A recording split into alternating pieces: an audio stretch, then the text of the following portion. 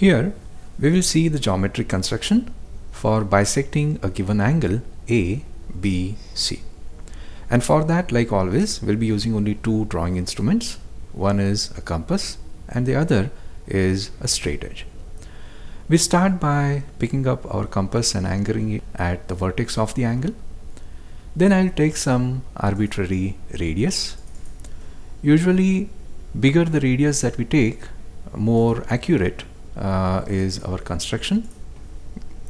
So I'll just give it some arbitrary value say 95 and then with the compass and B as the center with the tip of this pencil I'll be marking an arc on this arm and another arc on the other arm.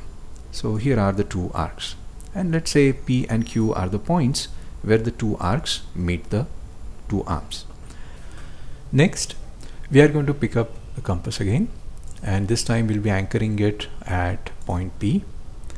And then with some radius which could be quite arbitrary. And just to make the point that it could be different from what we had earlier I'll change the radius.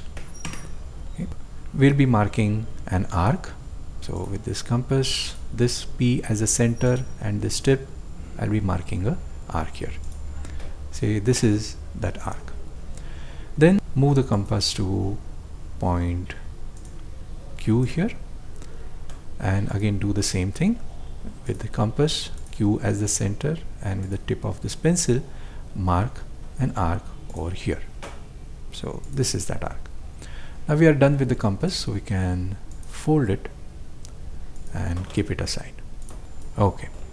Then we are going to mark this point P where the two arcs intersected and connect this P point P with the vertex B and this line PB is the angle bisector we were looking for.